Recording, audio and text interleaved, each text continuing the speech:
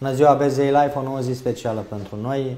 Ieri v-am anunțat, astăzi ne întâlnim, povestim, dialogăm, pentru că e important să dialogăm pe un subiect pentru unii sensibil, pentru alții o rememorare a unor evenimente nefericite.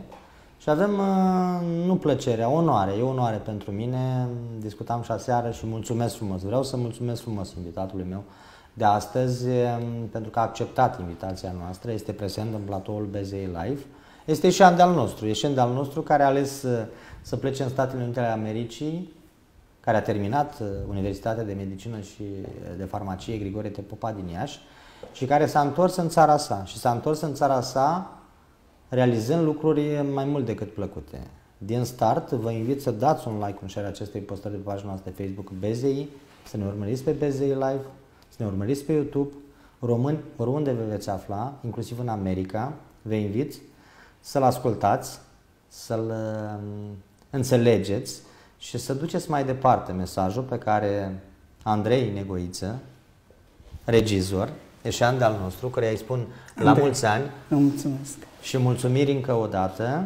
Sunt Valentin Huțanu, repet, români, urmăriți o ediție în care vom vorbi despre ce înseamnă o pasiune pentru creație cinematografică, pentru documentar, ce înseamnă șapte cuvinte, veți afla de la invitatul meu, ce înseamnă Scrum, veți afla de la invitatul meu și mulți dintre dumneavoastră sunteți uh, aproape de ceea ce înseamnă spiritualitate, spirit, biserică. Veți vedea un proiect viitor ce ține de Părintele Iustin Pârvu, Dumnezeu să-l odihnească în pace, o figură, un om care a trăit uh, momente mai mult decât uh, grele, dar care a, după 1989 a construit ceva frumos. Acestea fiind spuse, bine ați venit în platoul Bezei Live. Vă mulțumesc frumos. Um, am să încerc să, de obicei sunt cam vorbăreț și am cu să mare încerc drag, să cu mare plăcere. Concis, așa că am să fiu um, scurt, scurt. Aș vrea să încep cu, vă mulțumesc mult pentru invitația la BZI Live, nu o spun, de, uh, uh, nu spun din curtoazie, însă orice proiect are nevoie ca de oxigen de advertising. Nu există advertising, nu există, nu există nimic. Deci fără advertising totul dispare. Am văzut în America filme care costau 30 de milioane de dolari um, și um, în uh, reclamă se băgau peste 60. Deci uh, reclama este cam totul. Normal, trebuie să ai și la ce să faci reclamă, dar fără reclamă nu se poate. Așa că vă mulțumesc că cu mă mare drag și, cu dumneavoastră. Și vă repet din suflet uh, e această întâlnire. Vreau să vă spun în câteva zeci de minute, cred că de la ora 16, toți cei care sunt la Universitatea Alexandru Ioan Cuza din Iași, uh, Librăria Orest, la ce oră? La 17, pentru că s-a decalat, mulțumesc frumos uh, sfătuitorului meu de taină, uh, aflat în platoul BZI Live, de la ora 17. Sunteți studenți ai universității, nu sunteți studenți ai universității, sunteți uh, oameni cărora vă plac momentele plăcute, bine realizate, mergeți la librăria Oresta Frale a Universității Alexandru Ioan Cuza, pentru că acolo vă veți întâlni uh, încă o dată cu Andrei Negoiță. Andrei Negoiță, ce a însemnat uh, plecarea ta în America, pentru că vreau să îmbrăcăm așa, să prezentăm personajul. De ce ai plecat acolo? Vă spun sincer, nu vreau să bat câmpii. Uh, sunt fascinat de România, însă atunci, în anii când am plecat în 1994, eram sufocat, sincer. Îmi dădeam seama că e o țară fără speranță. O lume cu mentalități vetuste, nu avea nicio legătură nimic cu noțiunea de meritocrație. Erau primii ani de la Revoluție și, cum să vă spun, aveam un fel de nod în gât. Și mă bucur că am avut o intuiție bună. Uh, nu există om care să plece de bine din țara lui, nu există noțiunea de aventurieri și așa am plecat. Uh, mi se făcuse sincer lehamite.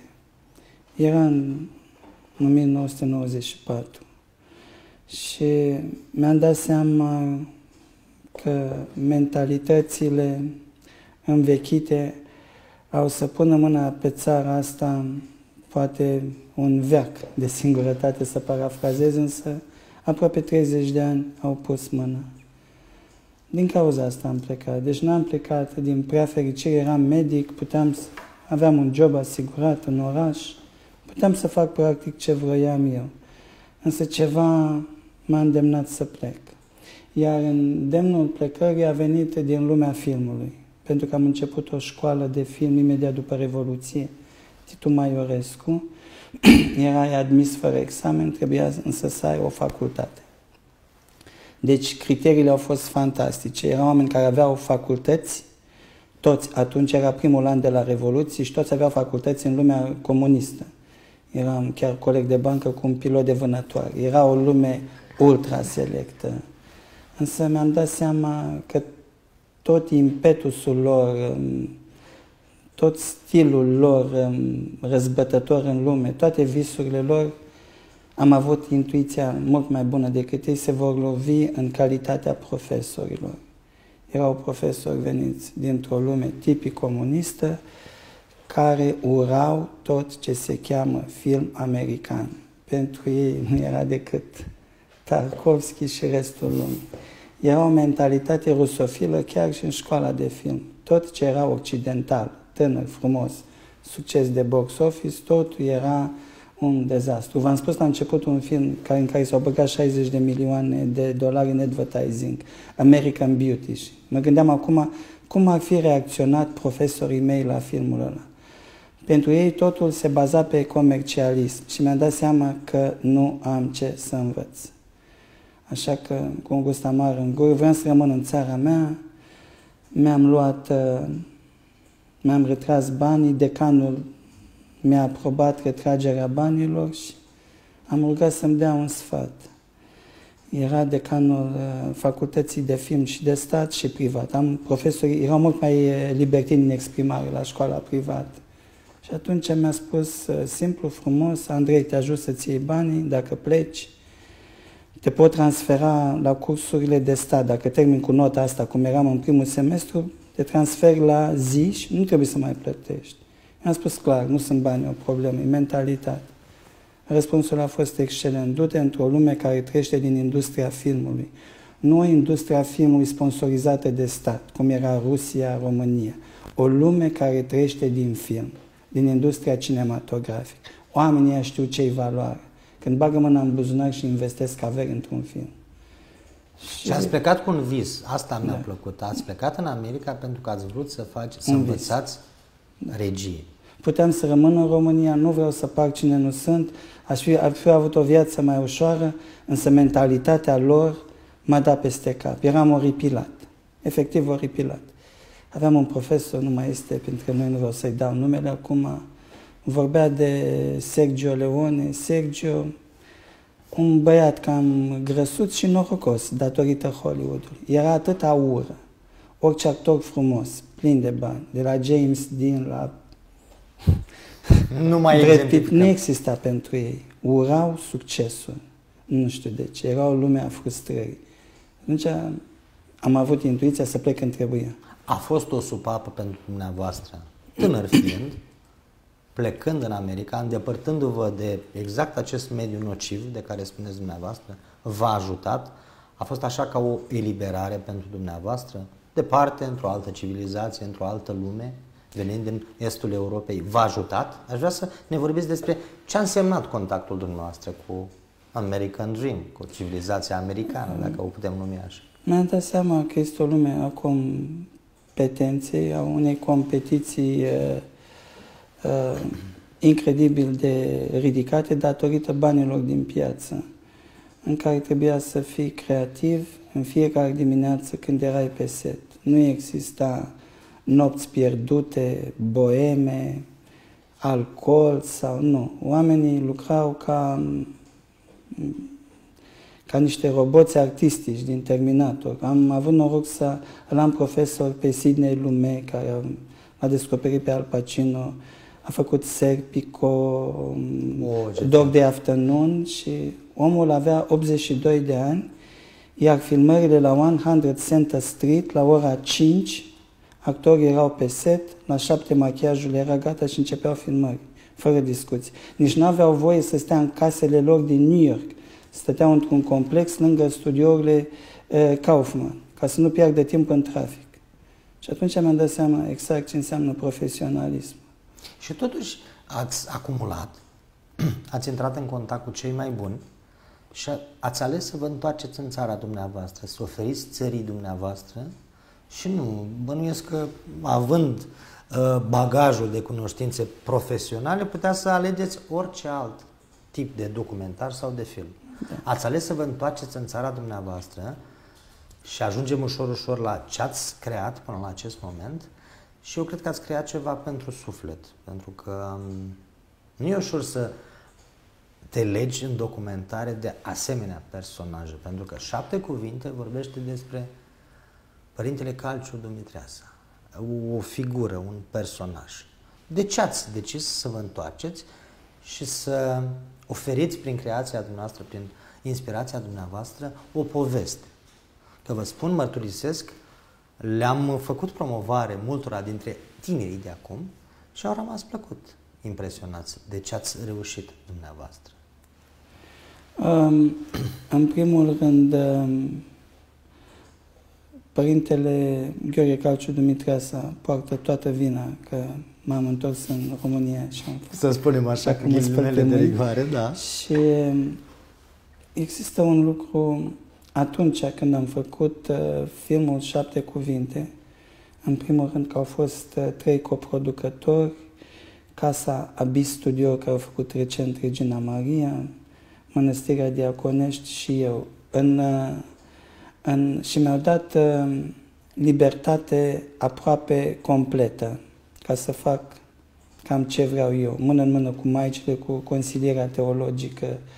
Iar Gabi Anta, uh, omul care este proprietarul uh, Abis Studio, uh, Mia și editorului Alin Vâlceanu ne-au dat mână liberă. În America lucrul ăsta este cam exclus, decât dacă ești o vedetă la nivel Steven Spielberg sau doar la nivelul ăsta. Um, deci ești invulnerabil financiar. Și m-a interesat, um, cum să spun, signice, semnătura filmului. Puteam să-mi pun amprenta. Um, un subiect ăsta în America poate fi lejer hăcuit. Oamenii care pun bani în producția filmului, ei dictează, nu invers. Orice regizor, de la Martin Scorsese la David Lynch, poate fi dat afară. Nu există noțiunea de vedetism, oamenii pierd bani, te dau afară. Așa că în România a fost o libertate fantastică de expresie, iar libertatea financiară a fost peste așteptările mele, în sensul că este primul om care l-am întâlnit în viața mea, Gabi Antal, care la primele negocieri, după 15 minute agasându-l și nelăsându-l să vorbească, mi-a tăiat-o scurt, e o poveste repetată de nu mai știu câte ori, însă mi-a tăiat-o scurt, uh, scurt uh, și mi-a tăiat-o scurt, scurt și practic uh, mi-a spus să nu-l mai plictisesc, să terminăm discuția, să bem o cafea în liniște, dacă sunt mulțumit cu condiția de pro bono nu înțelegeam ce vrea să spun, adică pro bono gratis. Deci omul ăsta a făcut o producție a unui film de peste 100.000 de dolari, numai partea lui pro bono. Nu știu câți Gabi Antal aș fi întâlnit în America, pentru că dacă n-ar fi fost Gabi Antal, nu am fi putut ridica cei 133.000 de dolari. Asta e realitatea. Deci a fost un uh, factor, a fost o, cum să vă spun eu, Uh, concertare a eforturilor, a fost o coerență și așa am ajuns, am ajuns să facem filmul Șapte Cuvinte. Partea financiară a fost uh, decisivă, însă, um, cum să vă spun eu, ca să mențin lucrurile într-o consecutivitate reală, principalul uh, om care a dus filmul la capăt a fost uh, Gheorghe Calciu Dumitreas. Pentru că avea o personalitate devastatoare, uh, mulți intuiau, mulți nu intuiau uh, personalitatea lui, însă după terminarea unei școli de film, New School of Visual Arts, Manhattan, New York, am văzut în el un, exact cum am spus, un American Dream și o poveste de Hollywood. Deci era ceva ce orice student ar fi vrut să întâlnească, să facă un film. Deci, practic, mi-a pus sufletul în palme. Și am vrut să fac filmul ăsta pentru că îl cunoșteam personal. Am intrat ilegal în America, am fost sponsorizat de biserică pe Special Religious Worker Visa și am cântat timp de 5 ani. N-am lipsit niciodată. La medicină mai chiuleam. La două lucruri n-am chiulit. La școala de film, eram singurul om ca un psihopat care vara țineam, vara făceam cursuri. Toată lumea se uita la mine ca la un ciudat. Și am fost singurul student care după ce am terminat școala full-time în 5 ani, am mai făcut un an. Atât de împătimit mi-am dat seama. Deci nu știu ce credeau profesorii despre mine, însă mereu puteam să învăț. Și atunci l-am văzut pe Gheorghe Calciu Dumitreasa ca o poveste de Hollywood, în carne și oase. Și, a, și dacă nu făceam filmul, întrebarea era de ce m-am dus la o școală de film. Deci au fost niște factori care pur și simplu s-au întâmplat în 2015 și așa am scos um, um, filmul uh, Șapte Cuvinte. A fost o consecvență de evenimente la care nu mă așteptam. Pentru că niciodată CNC-ul nu ar fi investit bani într-un subiect delicat, Gheorghe Calciu Dumitreasa. Și am cunoscut oameni cum nu m-am, nu m-am așteptat, nu am crezut că am să văd vreodată maici de la mănăstirea diaconești Antuza Parascheva și Maica Starița Evlogia Chirvase atât de titrate. Toate erau absolvente de jurnalism, bele arte. Era o lume monahală care sincer o ignorase. Nu am văzut gradul ridicat de spiritualitate la care m-au expus indirect uh, Mănăstirea Diaconești și Maicile. Și totdeauna cred că le-am poreclit și deja a ajuns o sintagmă maicile americanizate. La ora 5 se sculau dimineață, telefonul suna la 7 și începea munca la film. Nu am văzut așa tenacitate. Deci nu-i numai meritul meu. A fost o, o conlucrare. A fost ceva care a, Eu cred că a fost, a apropiat. a fost o pronie divină, să vorbim direct. Acum, dacă ar fi fost în condițiile actuale să mai fac o dată șapte cuvinte, nu știu dacă aș fi reușit. Au fost șapte luni de muncă, nu am capotat decât într-o singură dimineață. Pentru că în fiecare dimineață trebuie să vii cu ceva nou să gândești. O singură dimineață din șapte luni um, mă lăsa să imaginați. Și asta este cel mai mare dar de la Dumnezeu, imaginație tot timpul să poți crea. Altfel ești un funcționar de ghișeu la o benzinărie. Nu spun cu în sensul derogatoriu sau persiflant. Sunt munci în care nu mai are sens să gândești. Iar puterea imaginației mi se pare un dar divin. Și l-am avut cu tot prin osul. Așa a fost să fie. Aș vrea să vă întreb, că nu e vorba de religie și de oameni ai bisericii, în lumea contemporană pare așa ceva foarte sensibil. Eh, pare că ne alienăm astăzi. Eh, avem nevoie de divinitate doar în momente critice. Când natural, prin ființa noastră, trebuie să ne întâlnim, să mergem în casa Domnului și când ne este bine, nu doar când ne este rău. Pur și simplu să-L vizităm da. și să ascultăm cuvântul da. Eh, divinității. Ori dumneavoastră, personajul, e un personaj, Calciu Dumitreasa, e o figură, e, e ceva dintr-o lume pe care mulți dintre noi am încercat să o, să o ducem într-o altă zonă, că vedem acum pelerinaje, ce se face în numele cuvântului uh, legat de Dumnezeu. Uh, nu v-a fost teamă, alegând un asemenea, o asemenea zonă, mediul, societatea, să nu spună, iată vine și Andrei Neguiță și ne uh, prezintă nou uh, biserica, oamenii biserici. Sincer să fiu, um, vă spun câteva lucruri care sunt edificatoare. În America am văzut totdeauna un East Side. Nu știu de ce East Side-ul era latura rău famată. În Detroit, în Chicago, în New York, Bronx, Harlem, toate erau în East Side. Am ajuns în America, marea surpriză a fost, mi-am dat seama că și eu vineam tot dintr-un East Side a Bărladului. Asta era cotul negru. Și totdeauna m-am simțit marginalizat de sistem. Când toată lumea spune că ești un rebel fără cauză, un om mai târziu sau mai devreme ai să fii ostracizat de sistem, simțeam așa un fel de frică în spate. Întâlnirea cu Gheorghe Calciu Dumitreasa mi-a confirmat uh, rebeliunea din mine și ăsta este drumul pe care trebuie să merg, drumul rebelului. N-am știut niciodată ce este frica. Când intri în America, America este un război de uzur. Sunt români care ajung să mănânce din tomberon. Sunt doctori vestiți faimoși care au șters teșghele în Queens, nu mai știau cum îi cheamă. Um, America e un sistem, ca imigrant, uh, te trezești într-o lume a abandonului.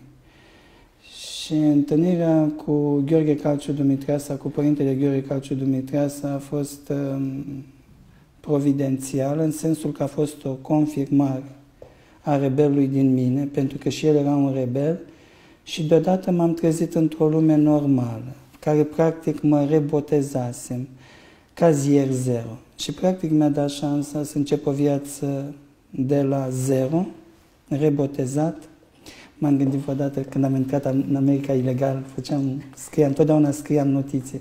Cred că prima dată când am ieșit dintr-o apă la frontiera cu Canada se chema Clear Water și când am trecut din Clear Water prin Vermont, ani de zile mai târziu vorbeam cu părintele și am spus, uite-te, cred că m-am, mi-am pierdut, cazierul este zero, am început de la zero viața, sub alte principii, uitasem de frustrările care le moștenisem de acasă și mi-am dat seama că în noaptea în care am trecut ilegal Clearwater la frontiera între Vermont și practic a fost un re, o rebotezare. Sună parte cinematic, dar practic în 1994 am început o viață de la zero datorită omului ăsta. Și de asta trebuia făcut filmul. Iar la școala de film am intrat cu un sinopsis extins despre viața lui un film suprarealist care se chema Detunata. Deci tot el m-a ajutat. și ce a fost cel mai interesant, și asta m-a împins, a fost prima lecție de școală de film înainte de a prezenta sinopsisul. Stătea cu picioarele lipite, genunchii lipiți, se uita la un perete, eu îi citeam scenariul și l-am întrebat cum v-a plăcut, e fascinant nu are nicio legătură cu realitatea, Andrei, și cu fenomenul Piteș, dar putem crea o legendă. Nu ești pe drumul tău. Asta m-a șocat la el. Era foarte deschis. Iar ca să spun de ce am făcut filmul, uh, era vorba de bani, nu aveam la ce școală să intru. Am fost admis la New York School of Visual Arts, Columbia și New York University. Columbia și New York University erau exorbitanti. Era imposibil să intru. Școlile erau de 40, până în 50.000 de dolari pe an. Uh, și am vrut să mă înscriu la o școală baptistă, prin recomandările părintelui Carci. S-a uitat așa la mine, asta n-am să nici și mi-a spus, măi, chiar decât codaș la oraș, mai bine, mai bine. satul tău. Ce te duci la o școală baptistă? Vrei să faci numai filme religioase? Lumea e complex. Du-te în New York, unde școlile sunt bântuite de toți nebunii din lumea filmului. Ce să cauți tu la o școală baptistă? putea să fie chiar și o școală creștin-ortodoxă de film. Voia competiția în lumea reală. Și asta a fost un... Uh, pentru că ce vreau să vă spun, lucrurile astea sună foarte bucolice. Să Părintele Calciu a fost student la medicină, după care a ajuns pușcăriaș, după care a ajuns profesor de francez, după care a, termin, a ajuns, a terminat teologia preot, după care a ajuns uh, șef de catedră la Radu Vodă, profesor universitar, iarăși a luat-o de la capăt cu pușcăria, a fost exilat în America și a fost un simbol pentru românii liberi din America. Și făcând calcul ulterior, este omul care a făcut 21 de ani de pușcărie și 21 de ani de libertate în America. Coincidență, spun așa. Mm. Așa am ajuns aici. Așa ați ajuns aici și e foarte interesant ce spuneți dumneavoastră. Apropo de momentul plecării. Și citez. Eram în anul 4 la medicină. Prima dată când amânam sesiune. Atunci mi-am dat seama de impactul filmului. În patru ore, practic, viața ți se poate schimba. Așa a fost filmul. Mi-a rămas un gust amar, pentru că mi-am dat seama că singura mea șansă să termin uh, medicină după filmul ăsta ar fi fost doar psihiatria. Și în momentul în care am terminat școala de medicină, și aici, atenție, am descoperit că regia de film este o psihiatrie generalizată la nivel național. Pare foarte interesant ce a spus dumneavoastră. Eu aș extinde în dialogul nostru și aș spune că societatea, lumea contemporană, cred că are mare nevoie de ajutor din partea unui specialist. De ce filmul este o psihiatrie generalizată? Pentru că în momentele mele de cădere în America, depresii, competiția este ucigătoare. Pe românește vorbind în termeni intelectuali, în ghilimele, este rupere de oase. La absolut orice nivel. Sunt oameni care sunt mândri că au două, trei joburi. Vă dați seama cât de dură e societatea. Două, trei joburi. Câteodată unii le au și full-time.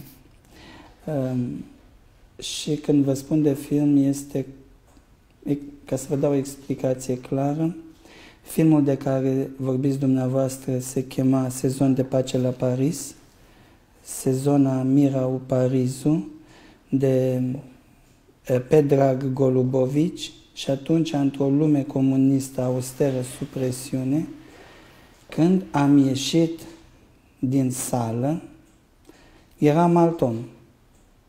Eram cu prietenul meu de atunci, acum e psihiatru în Haga, Liviu, am mai intrat odată. Am ieșit din nou alți oameni. Și atunci mi-am dat seama în anii care veneau, în momentele mele de depresie, America e lume dură, singurele lucruri care îmi creau o stare de beatitudine erau în special vecernile, în liniștea serii și filmul. Și tot timpul când ieșeam dintr-o sală de film, ieșeam cu totul alt om. Deci intri în bezna unei săli, câteva sute de oameni și câteva sute de oameni ies toți alt om. E o magie care am descoperit-o în timp. Chiar și pe Părintele Carciu l-am dus la câteva filme care i-au schimbat chiar vederile politice. Um, Life is um, Beautiful și despre Holocaust și încă un film, uh, Saving Private Ryan. Tot timpul se întreba de ce nu au venit americani. Hai să arăt eu de ce. Și când am văzut Saving Private Ryan și-a dat seama că nu pot să le cer unor oameni să fie salvatorii unei lumi. Au și ei. Iar Limitele life, lor. Iar Life is Beautiful de um, filmul care a luat um, Oscar de, am uitat cum îl cheamă pe om, pe regizor, tot așa, era un film despre Holocaust. I-a schimbat mult, uh, um, mult mentalitatea. Deci, practic, intri un om și Benini îl cheamă pe regizor. Intri un om și... La vita e bella. La vita e bella. Am tradus în engleză, că așa l-am văzut. Și practic am văzut un om care are niște idei um, um, foarte clare despre politică, despre tot, cum era Părintele Carci. Foarte clare, trăise în perioada aia, făcuse pușcărie, fusese student dintr-o familie de 11 copii, Saving Private Ryan i-a pus un semn de întrebare, i l-a fixat în minte, efectiv ieșise bulversat. Pentru că toată lumea vedea războiul mondial ca o trădare. Atunci când vezi ce se întâmplă, nu poți să le ceri unor oameni, mergeți până la Don. Au copii, au familii, mor în fața ta. Iar în uh, filmul lui Benini, Life is Beautiful, pur și simplu a înțeles exact dimensiunea Holocaustului în câteva minute. A rămas mut. Știți cum suntem noi, într-un fel naționaliști, exagerăm de o parte și de alta. Când ieși, deci un om cu 21 de ani de pușcărie, cu o mentalitate structurată, filmul a avut un impact asupra lui. Mă gândesc ce impact ar avea asupra unei generații tinere, care încă sunt în formare. Și ce este interesant la filmele americane bune, toate au un mesaj. Nu este făcut un film de dragul filmului. Și... E frumos ceea ce spuneți dumneavoastră, de iată că la începutul acestui an ați ajuns acasă.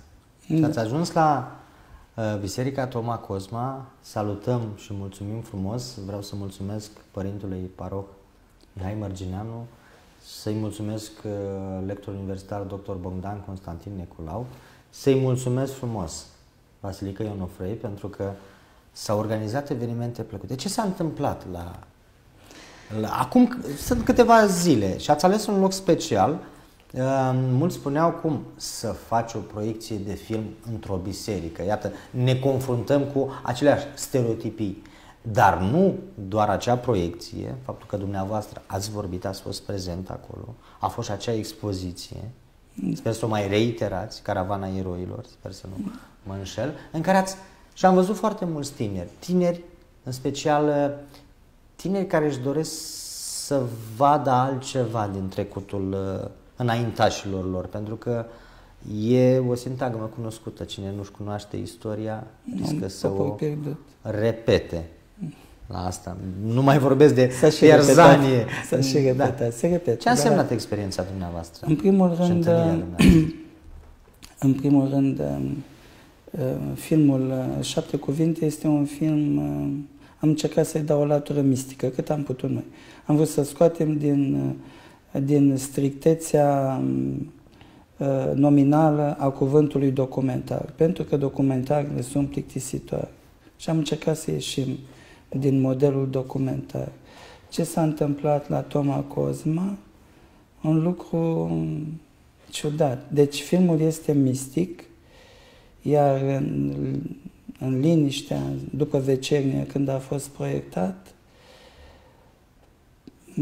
nu vreau să par ciudat sau să, să dau replici care să facă rating, dar parcă era o rugăciune pentru oamenii din film din spatele icoanelor. Parcă era o rugăciune de noapte care stătea în spatele filmului. Um, atunci mi-am dat seama cât de mult suntem noi fixați în paradigme. Bisericile sunt doar pentru rugăciuni. Nu, Caravana Eroilor a fost un muzeu anticomunist într-o biserică creștină. Punct. Iar filmul a fost un film anticomunist într-o biserică creștină. Asta e rolul bisericii, să propovăduiască mișcări, caravana eroilor, filme. De ce să nu proiectăm filme cu o anumită tematică în biserică? Avem ideile astea preconcepute și vin tot din lumea comunistă. Pur și simplu, biserica nu ar trebui să mai aibă rolul ăsta limitat. Pentru că singura speranță care i-a rămas un, unui popor în derivă, în refugiu, înainte lumea spunea rating armata. N-aveau nicio treabă. Au împușcat 1166 de oameni. Ce credeți să le dai? Problema este că noi suntem, în general, ca un popor balcanic, suntem simpliști și generalizăm. Vreau să vă spun că printre cât, câți oameni care au, au încercat să promoveze filmul, am văzut oameni din biserică care nu ai voie să-i pui sub nicio formă, sub uh, același acoperiș al generalizării. Nimeni nu știe în Iași, de exemplu, dacă întrebi, Spitalul Providență e un spital universitar. În America foarte multe spitale universitare sunt sponsorizate de biserică. Tot timpul marginalizăm. Să vă spun de ce marginalizăm. Marginalizăm oameni ca Gheorghe Calciu Dumitreasa pentru că ne arată că în viață putea fi și celălalt drum, drumul lui Gheorghe Calciu Dumitreasa părinților mei, bunicilor mei, nu le convine lucrul ăsta. Au spus că au rezistat strângând de dinți. Nu, era și celălalt drum. Dar nu vrei să-l vezi. Așa și cu biserica. Nu vrei să vezi providența, nu vrei să vezi caravana eroilor. Vezi doar ce-ți convine. Pentru că dacă vezi realitatea, e o comparație între tine, ca preot, și Gheorghe Calciu Dumitreas. Și atunci încerci să nu te duci să vezi filmul, pentru că îți dai seama putea fi și celălalt drum. Și așa am fost noi învățați să generalizăm, dar în folosul nostru. În egoismul nostru de, exacerbat. De vedea realitatea. Și aici s-a ajuns. O situație debusolată și ce vreau să vă spun sincer și a fost un șoc. Uh, principala audiență au fost oameni 20, 30 și de ani. Oamenii din generația părinților mei nu vreau să vadă așa ceva, pentru că le arăți că exact. se poate. Și Ceea ce spuneați dumneavoastră, nu mai vorbim de... sub oboroc și ai terminat Preotul tot. Calciu Dumitrea sau unii spun preotul torționar. Deci sunt lucruri abominabile. nu are rost, dar uh, trecem într-o altă da. Uh, dimensiune. Iată, să vorbim puțin și de prezentarea filmului Scrum.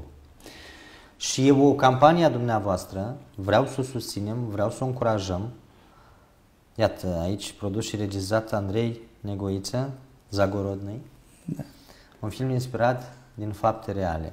Haideți să vorbim și să încurajăm pe toți cei care ne urmăresc și ne urmăresc într-un număr foarte mare și audiența, ratingul, ca să spunem da. așa, e pentru că facem emisiuni de calitate și oamenii sunt interesați de ceea ce povestiți și prezentați dumneavoastră. Nu e așa un rating artificial plătit, nu. Oamenii se uită la dumneavoastră, se uită la produsul nostru media Bezei Live pentru că văd și altceva și cred că este timpul să le oferim și altceva, exact prin mesajul dumneavoastră. Și cu toții vă puteți uh, apropia și puteți susține proiectul și ceea ce înseamnă Scrum.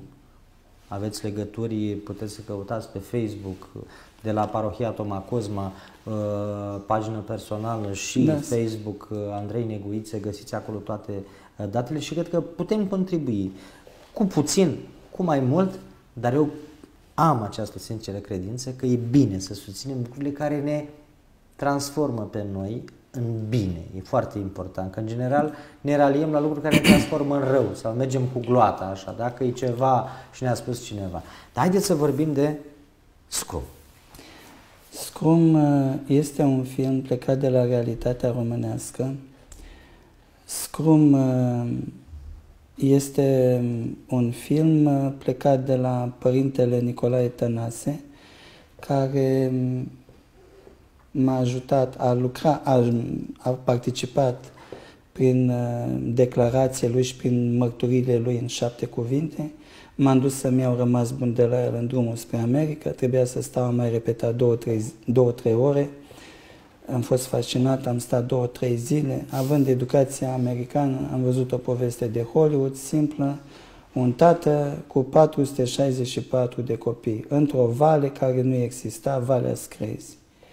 Deci, având, o, având propensiunea asta să văd lucrurile limpede și clar, Asta am înțeles-o de mult. Poveștile de Hollywood se pot întâmpla și aici, la colțul străzii. Nu trebuie neapărat să se întâmple în California sau în Los Angeles. Și am văzut un om care are grijă de...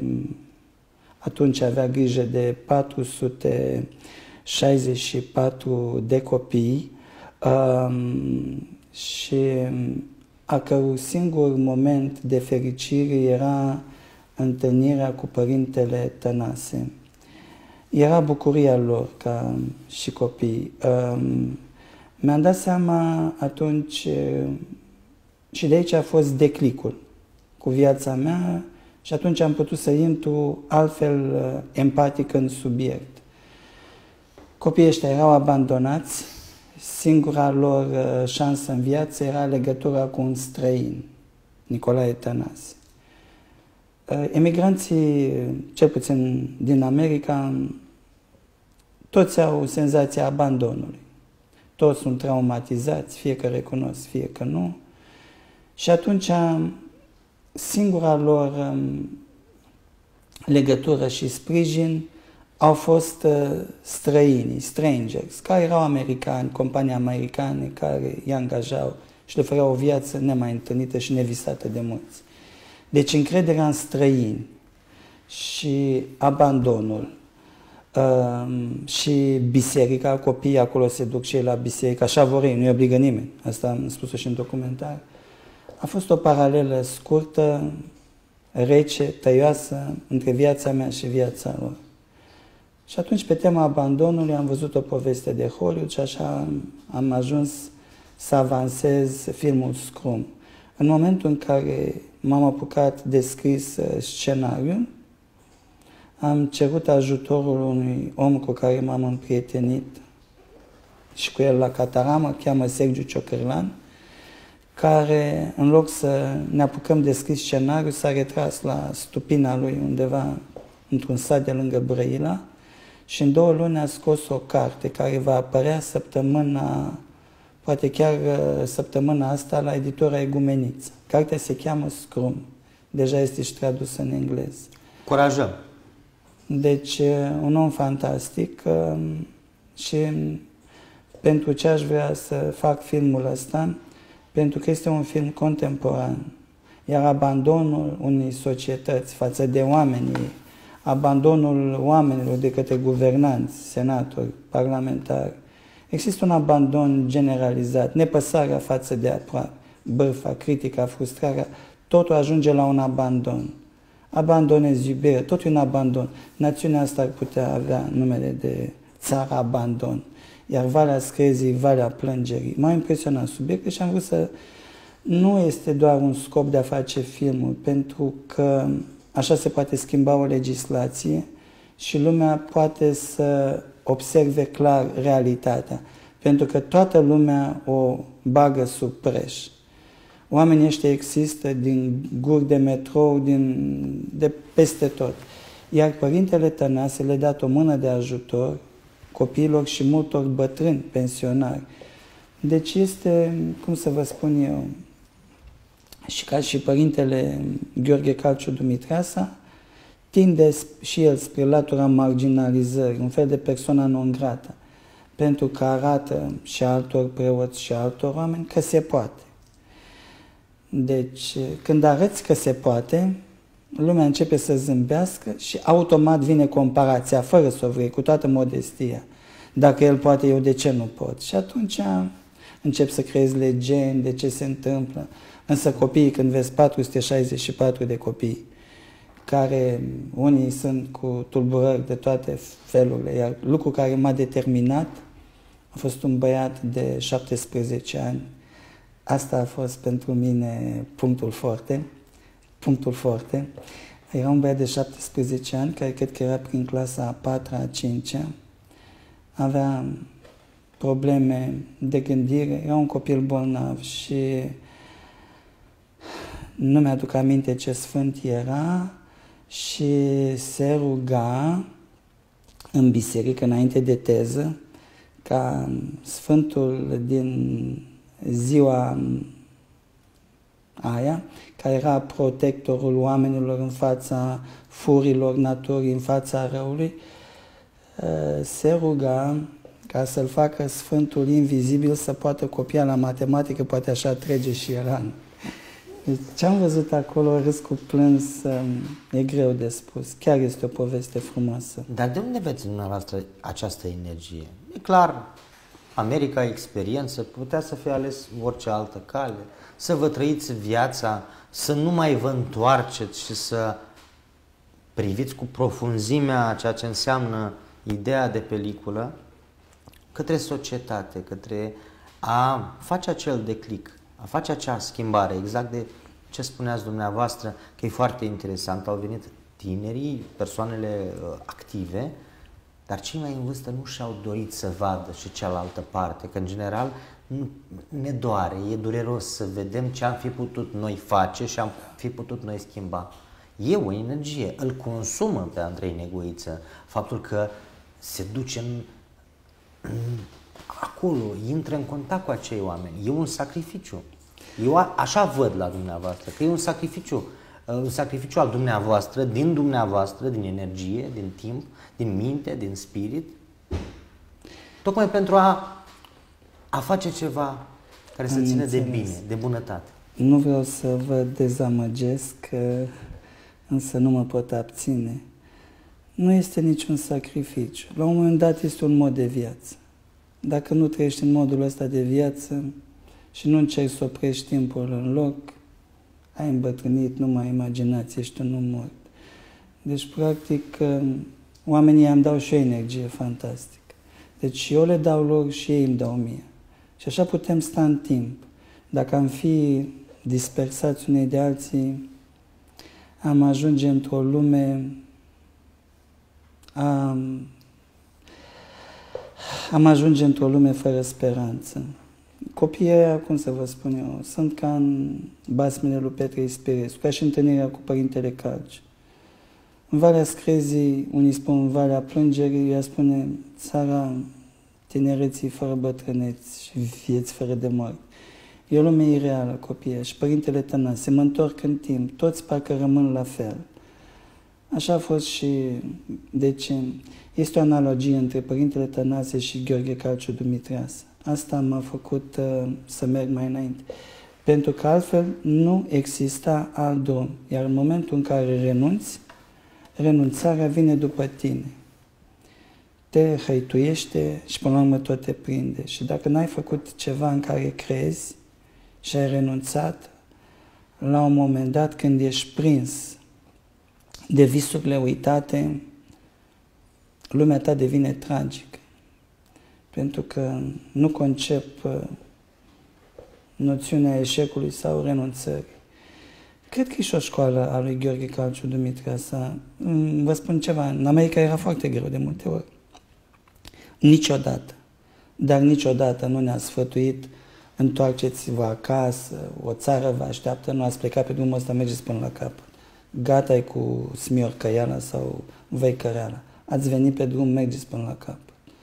Nu a încurajat niciodată o întoarcere, pentru că întoarcerea ar fi însemnat renunțări la vis. Și asta ne prindea din spate. Și ne-ar fi bântuit renunțarea asta toată viața. Și bine a făcut. Și cum ați, ați regăsit dumneavoastră acest lucru frumos acasă, România? Plecând, rupându-vă într-un moment debusolant pentru România, anii 90, știm cu toții, unii mai tineri, alții mai în vârstă.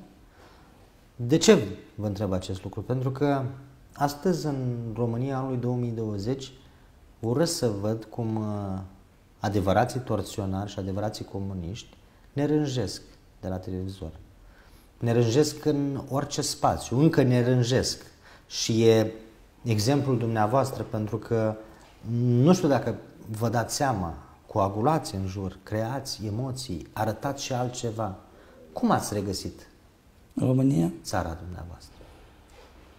În primul rând, um, și în primul rând, um, am putut să o văd neutru, pentru că făceam comparația între două sisteme. Sistemul american și sistemul românesc. Sunt sisteme paralele. Dar uh, America mi-a dat uh, șansa să gândesc neutru și să văd România așa cum este. Și îmi dau seama că poate țara nu mai are nicio șansă, nu îmi place să mă joc cu cuvinte sumbre, însă există un filon de aur a neamului românesc, a poporului. Și când îți permiți în viață să ai două opțiuni, nu mai ești așa de încrâncenat. Deci pot să trăiesc în America, în România, când vreau, având o un pașaport uh, albastru și unul roșu. Problema este că, fiind neutru, vezi o Românie pe care alții nu o văd, fiind încrâncenați în sistemul ăsta. Noi doi acum ce suntem români? De ce ne înțelegem așa de bine? Deci există și cealaltă Românie, explicativ, te uiți și în spate. Vezi imagini care vor să facă un film despre copii abandonați. Deci facem parte tot din România. Deci există un filon și o energie a Pământului care nu poate fi explicat. Ehm, Părintele Gheorghe Calciu Dumitreasa putea să aibă loc pe alea principală în Crest Lake, Michigan, la Episcopia Română Americii de Nord și Canada. Chiar i-a oferit un loc exact, exact, eh, hai să spunem așa, prime time și până la urmă a vrut uh, Musai să fie înmormântat în România. Există o explicație, există o energie a oamenilor. Vorbind, trăind în America de 25 de ani, îmi dau seama. Există ceva fabulos în oamenii ăștia. Însă noi suntem învățați să denigrăm cam totul. Și vreau să vă spun că România se schimbă totuși încet față de alte țări, însă se schimbă bine și cred că într-un an, doi, va fi ca un fel de landslide, o alunecare de pământ, în sensul bun. Pentru că oamenii și-au dat seama că trebuie să se implice, să iasă din casă, să iasă în stradă. A fost grea munca asta.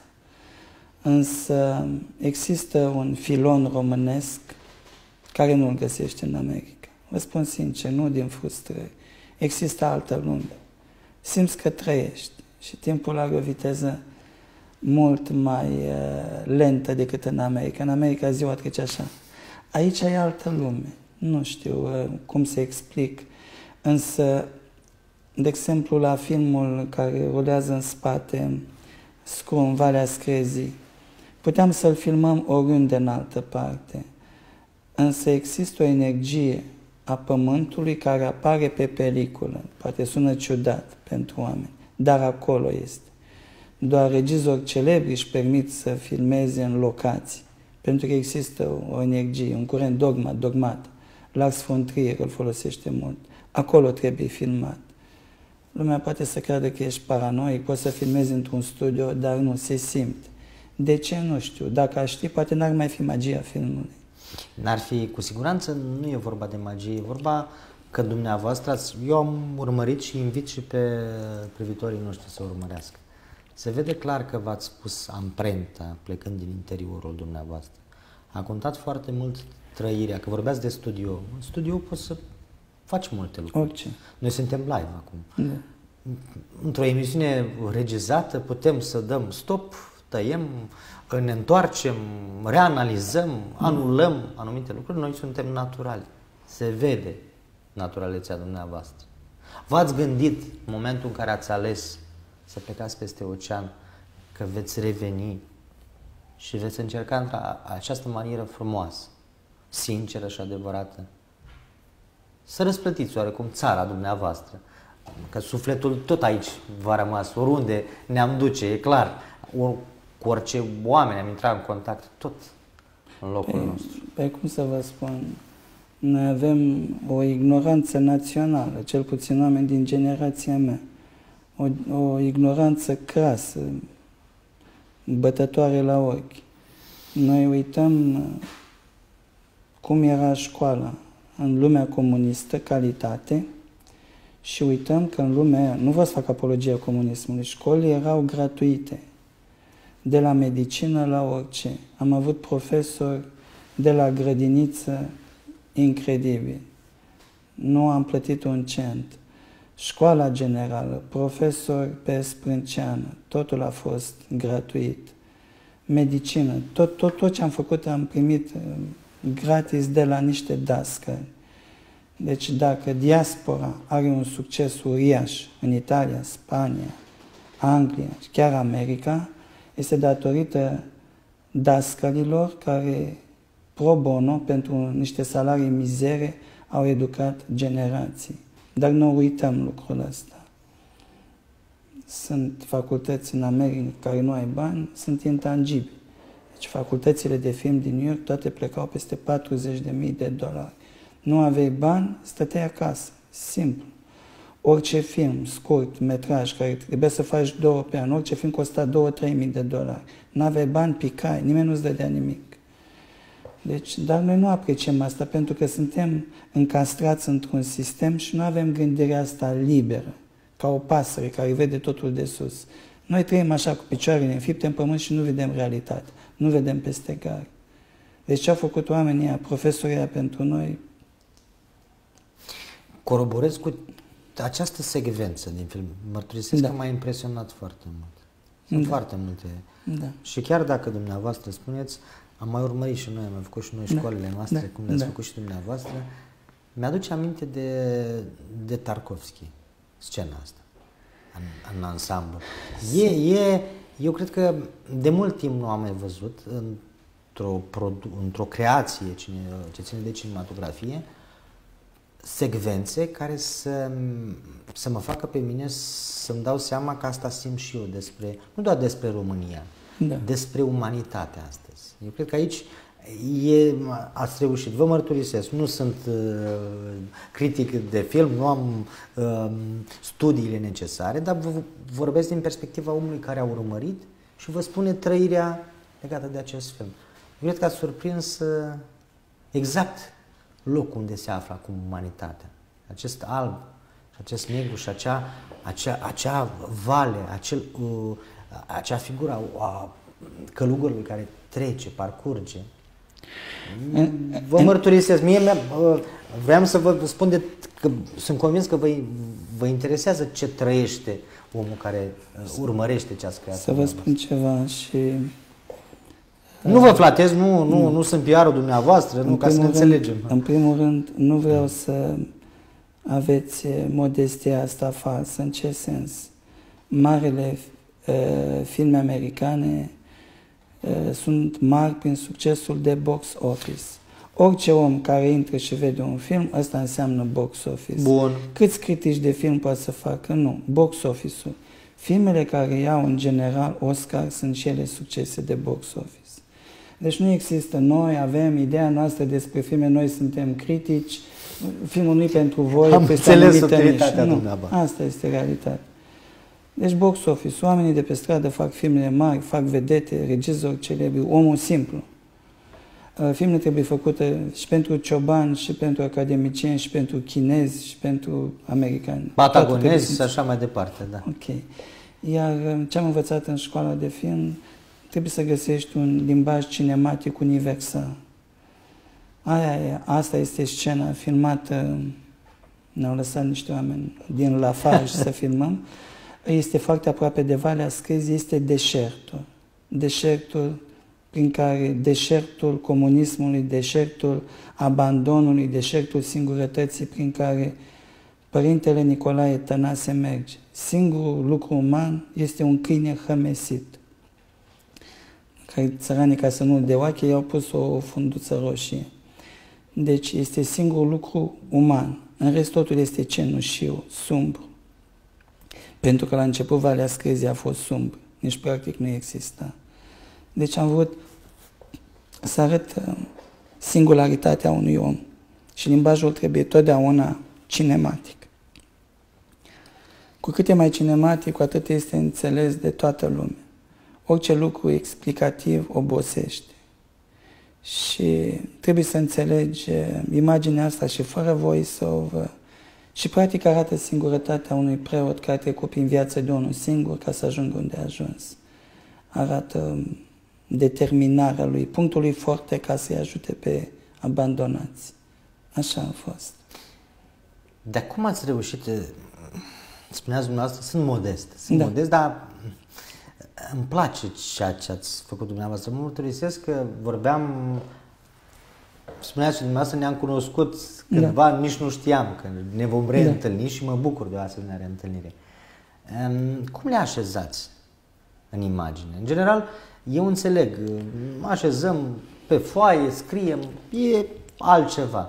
Dar ați reușit prin, prin imagine să-mi inspirați mie și sunt convins că toți cei care și încurajez să urmărească ce ați realizat dumneavoastră, parcă ați spus litere în loc de imagine, parcă ați spus sentimente, parcă ați spus uh, ați spus altceva. Eu, eu cred că e altceva. Uh, Să vă- uitându-mă, am trecut de, uh, bun, că acum avem un videool în spate, Da. dar am trecut de, parcă eram acolo, parcă, parcă trăiam alături de dumneavoastră, parcă eram Um, Vă spun sincer, în momentul în care ajungi într-o locație, în mintea ta e locația aia, niciodată n-ai să știi. Și într-o dimineață te scoli, îți bei cafeaua într-un balcon și vezi dealuri, munți, noaptea este beznă dacă ajungi într-o pensiune, cum e Valea Screzi.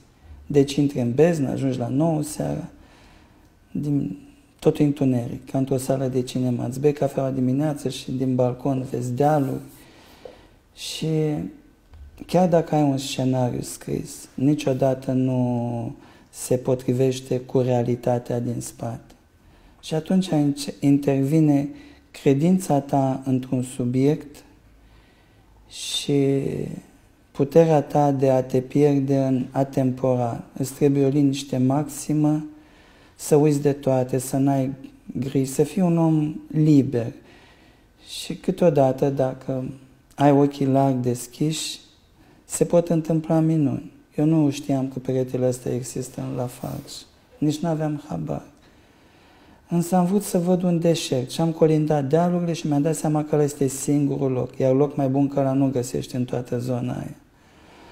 Um, toți oamenii care m-au ajutat enorm, Părintele Tănase, uh, Cristi Dinu, care are cea mai bună arhivă, Florin Iordache, Mircea Zanian, oameni cu care am lucrat acolo, uh, iar Scrum a fost o investiție fantastică și la el a fost spirituală, a, adică spirituală.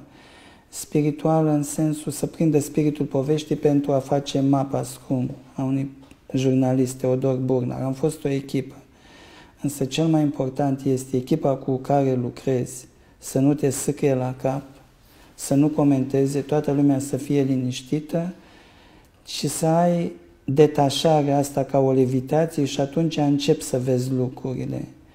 Și asta este magia filmului. Poate să iasă, poate să nu iasă. Aici e marea schismă, pentru că altfel toată lumea ar face filme. Poți să filmezi perfect și nu iese. După care vine editarea, după care vine coloana sonoră, textul, dar imaginea intrinsecă, născândă, nimeni nu-ți dă garanție. De asta sunt distribuții uriașe care sunt flop la box office toate că oamenii sunt perfecți. În sala de editare se întâmplă minunea ca un film să fie operă de artă sau un punct mort, în care hai să ne scoatem banii, să facem reclamă, ce mai putem noi. E ceva, aș putea să spun, mistic, divin, care nu poate fi controlat. Dacă să te apropii de un film bun, totul trebuie să fie perfect. Scenariu, um, coloană sonoră, editarea trebuie să fie perfect. Ei, după asta intervine acel ceva care îl duce pe alt drum. Asta nu, nu pot să garantez niciodată. Doar o liniște sufletească și credința în subiect, să simți subiectul, să-l respiri, să respiri scrum. În momentul în care respiri, există șansa ca să se întâmple o minune.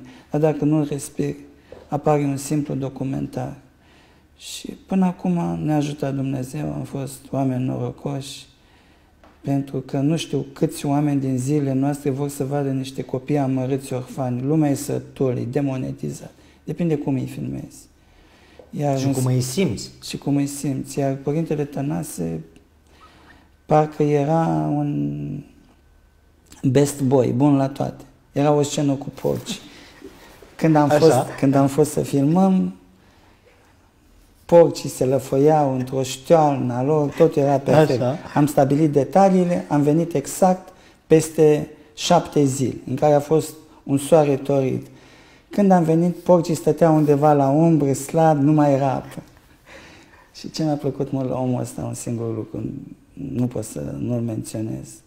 Și mă uitam așa la porcii aia siderat, erau, noroi era crăpat pe ei, parcă nu mai erau porci, nu mai aveau frumusețea porcilor și erau ceva frumos. Și eram așa, care părintele Tănase ne întreabă, și ce să fac acum? Două, trei tone de apă poți, vă spun sincer, nu a întrebat de ce. El vrea ca filmul să iasă. A venit cu o cisternă cu două, trei tone, nu știa de ce. Chiar nu știa. Asta mi-a plăcut când un om are încredere, este un bun executant, nu întreabă de ce. Și era secet, apa trebuia trasă dintr-un râu, cisterne, pur și simplu am avut 3 tone de apă într-o oră, o oră și 15 minute. Deci tot ce vroiam, aia am avut de la el. E, rar găsești și puțini oameni ne-a dat libertatea totală de creație. Faceți ce vreți voi, nu comentezi nimic. Pe când foarte mulți oameni care te ajută să faci un film de la pseudo-producători, ajung producători executivi, încep să-și dea cu părerea și nu mai scos la cap. îți distrug da. Uh, ideea, te corup. Ce mi-a plăcut la Andrei Negoiță? Că a fost sincer. A fost sincer și a... Recunosc că mi-a plăcut și un interviu. De data asta era pe zona de radio. Mai rar, deși un post de radio pe care eu îl ascult. E gherila. Da. Mi-a plăcut acel moment. N-am simțit niciodată la Andrei Neguiță așa stratosfera în care se află Andrei Negoiță, la cea dimensiune, cum mai vedem. Eu nu, eu nu fac teatru pentru vulg, pentru toată lumea. Eu fac teatru pentru mine, pentru cei care sunt inițiați. În nu. momentul, scuzați că vă întrerup, Vă rog. la orice clasă de producție de film, dacă aș fi spus replica asta în fața unui profesor american, mi arăta ușa și mă făcea și prostănac. Simplu. Deci nu există noțiunea asta. Mare artă este ca toată lumea să o înțeleagă. Oricine. Așa bucură o nație, o sală de cinema. Când faci filme pentru o nișă, știi la început că filmul nu va fi vizualizat și atunci ești un textier și pronunți cuvânt. Nu există nișe în sufletul oamenilor. Oamenii au un suflet mare. Și analfabeti și semi-analfabeti, toți au un suflet mare. Există frumusețea, e pentru frumusețea din sufletul omului, trebuie să-l respecti, să-i dai ceva care se bucură. Nu există clasificări de suflete, clasificări de inimi.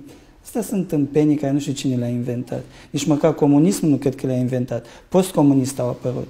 Ca, să, ca o justificare a eșecului de box office flop sau dezastru. N-a ieșit ce puteau să înțeleagă. Și vă spun, o replică de asta, erai prostul clasei la New York School of Visual Arts, dacă spuneai așa ceva.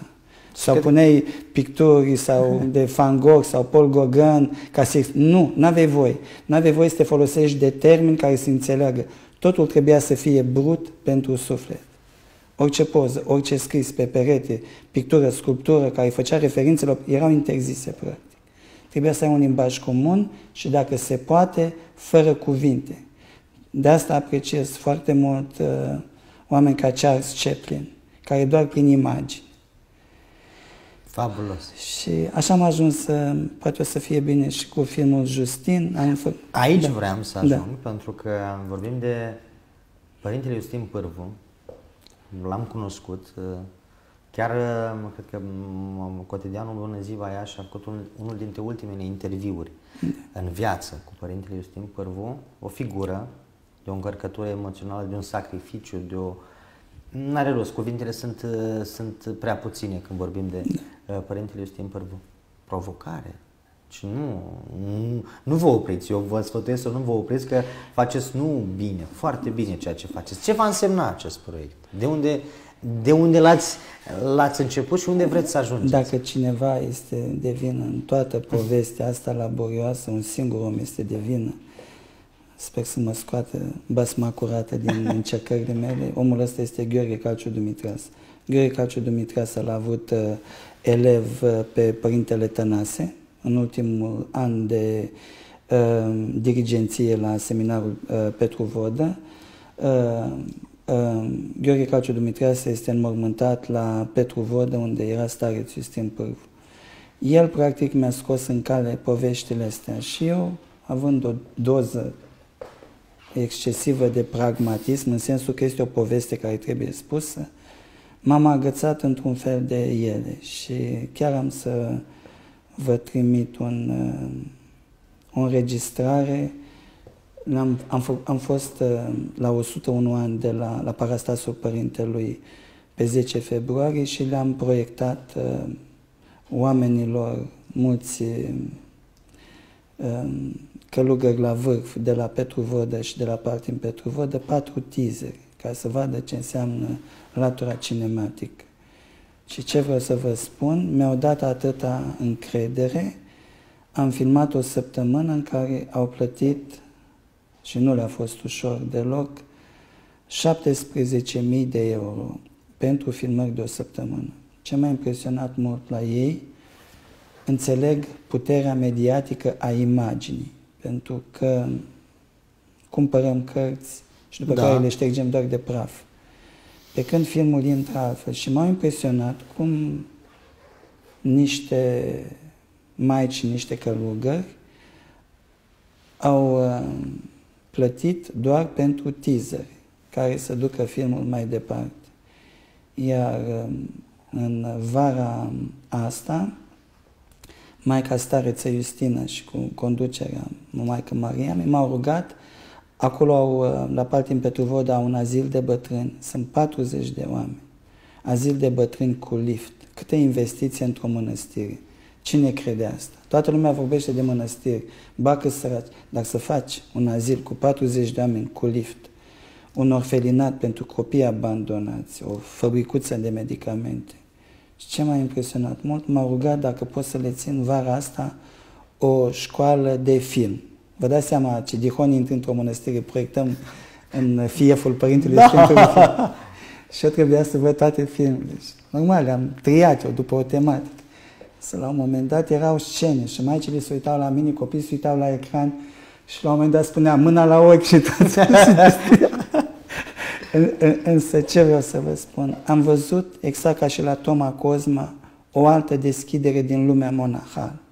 Cine credea că în uh, fieful Părintelui Stim Pârvu în parte în Petruvod o să fie o proiecție profesionistă cu patru tize. Și lumea chiar a fost fascinată, mulți din ei. Deci trebuie să încerci. Pentru că să vă spun, dacă latura asta spirituală renunțăm la ea, nu ne mai rămâne nimic. Vă spun sincer. Și să vă spun de ce confirmarea este America. Toate comunitățile românești, și nu spun toate, absolut toate, sunt centrate în jurul uh, bisericilor creștini ortodoxe. În biserică se întâlnesc și schimbă joburi, există o bază de date cu joburi, fiecare preot e obligat să aibă o bază de date ca să aduce semenii la ananghie. Totul se învârte în jurul bisericii. Și trăgând linii și adunând comentarii mai puțin sau mai mult răutăcioase, America funcționează și este centrat de ce America funcționează. Pentru că au liniștea spirituală să meargă mai departe. Însă noi luăm exact ce ne convine. Președinții americani sunt endorsați de biserici. Comunitățile românești, toate sunt centrate în jurul bisericii. Adică de ce ei pot și noi nu putem. Simplu. E vorba de opinie. Ce natural și eu cel puțin cât de încărcat uh, mă simt la acest moment, vă spun sincer, nu, nu e... De aseară, când v-am simțit în voce, mi-a venit așa un, o încărcătură și vreau să vă spun că fiecare ediție, dar bun, sunt și altele care trec, merg mai departe. Dar astăzi chiar m-am simțit mai mult decât uh, plăcut. Am simțit că am alături de mine un român uh, Eh, exact cum spuneați dumneavoastră, din acea Românie, acea Românie adevărată, acea Românie care poate merge mai departe. Pe final, cum am, ce ar trebui să, să transmitem eh, din trăirile dumneavoastră, din experiența dumneavoastră, din munca dumneavoastră, din ceea ce puneți? Să transmiteți, cum să vă spun... Dumneavoastră trebuie să transmiteți, eh, plecând de la acea idee, nu există, nu pot, nu există văicăreală, nu există jumătăți de măsură, nu există că eu sunt cel mai frumos din orașul acesta, nu există muncă, inspirație, dar, în ultimul rând, sentiment și trăire și spiritualitate. Ce aș vrea să vă spun că ce am învățat eu în țara aia și am trăit 25 de ani și acolo mă și întorc. Ce am învățat din țara aia, un simplu lucru, am văzut că toți oamenii dacă le-aș face un profil uh, psihologic, toți învingătorii americani în artă, în politică, sunt oameni care nu au renunțat la visul. Și la un moment dat, nerenunțând la visuri, merge înainte. Îți stabilești un comportament, un drum al tău. Și la un moment dat ajungi ca pe o pârtie de bob. Și nu mai poți să te mai întorci înapoi, că ai luat-o la vale. Există un fel de sună ciudat, un point of no return, un punct de la care nu te mai poți întoarce. Pentru că dacă te-ai întors, nu mai e cum. Deci aș transmite oamenilor să meargă până la capăt și să nu se mai oprească. Niciodată. N-ai voie să te oprești. Când ai renunțat la vis, nu că este un păcat. Eșecul te bântui. Te prinde așa, te prinde odată, n-ai cum să scapi. Și atunci devine o prăbușire mentală. Deci, oamenii nu au voie să renunțe la vis.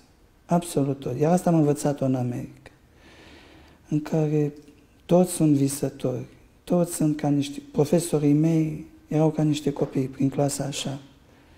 Mă miram cum pot să trăiască oamenii ăștia într-o lume atât de dură.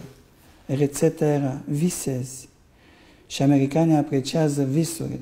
Mi-aduc aminte, în procedura mea de deportare, în care soarta se decidea, în decurs de câteva zeci de minute, am spus că am visat să ajung în America. A fost visul meu să ajung în America, vreau să fac, de asta am venit.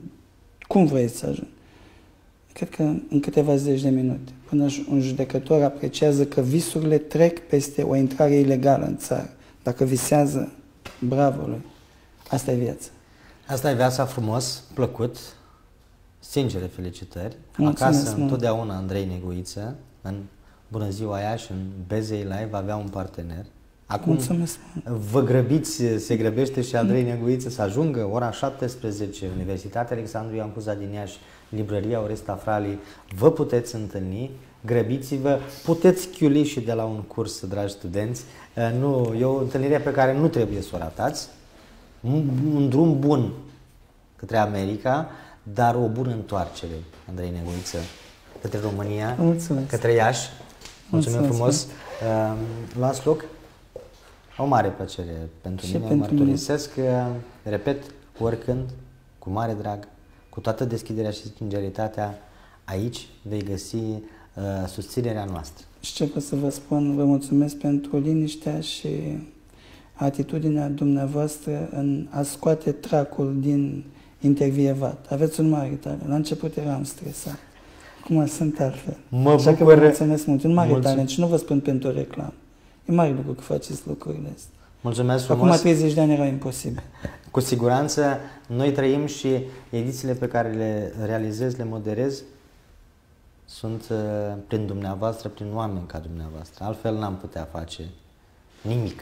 Și cred că trebuie să schimbăm o, o anumită paradigmă. România are oameni care trăiesc, simt, are oameni cum sunt uh, cei pe care îi adună, îi liniștește. Pentru că și creațiile dumneavoastră, să știți, m-au răscolit, dar m-au liniștit. Mi-au dat așa o, un moment de reflexie și de uh, împăcare, dar și de provocare în același timp. V-am spus uh, atâtea lucruri frumoase, felicitări, continuați. Mulțumesc mult.